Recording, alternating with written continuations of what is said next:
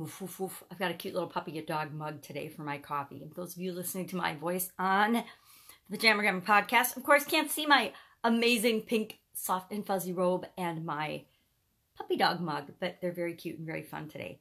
Today is day 25, actually, of our trick to get us through the end of the year. Things to make us focus on the positive, focus on what we want, and be happy and think about the things we want, not the things we don't want, especially in this chaotic time of year. Pajama Gramma, Sharon Horne-Ellstrom here. In case you haven't met yet, go ahead and put hashtag pajama in the comments below so I know it's the first time you're being exposed to the Pajama Gramma. One last sneak of a sip before I dig into our cards today. So between now and the end of the year, we are looking at from these amazing card decks. And I like them because they usually summarize books like Louise Hay's Wisdom Card. She actually has a book that goes along with that. They're kind of like the Cliff Note versions or the the flashcard versions of the key points in in many books. They're available on a lot of different topics. I happen to like the ones on personal development, and so they're the ones that I um, tend to gravitate to and purchase. I have like I think 25 or 30 of these decks, but these were the three that were by my computer and I thought, geez, it'd be nice to have something to just give us an extra boost between now and the end of the year. And so I decided I would pick one from each of these decks because they sort of speak to the main criteria, the main concerns we have as human beings, health, wealth, and relationships, well-being, wisdom, and wealth. Kind of the same thing.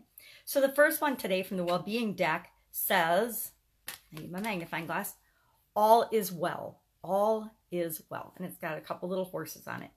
It says, Babies are beings from the non physical, eternally coming forth for the creation of that which they decide. So that says, Babies are born to create the life that they want. That's kind of what that says to me.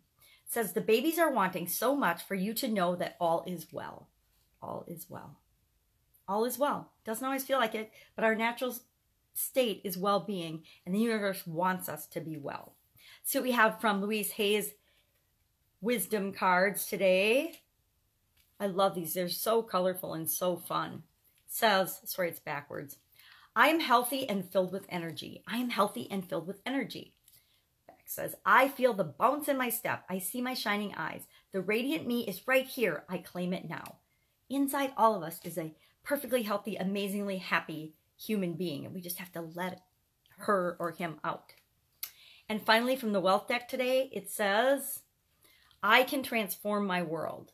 I can transform my world. It looks like a magician with a world transforming it, apparently. That's what it has to say on the back.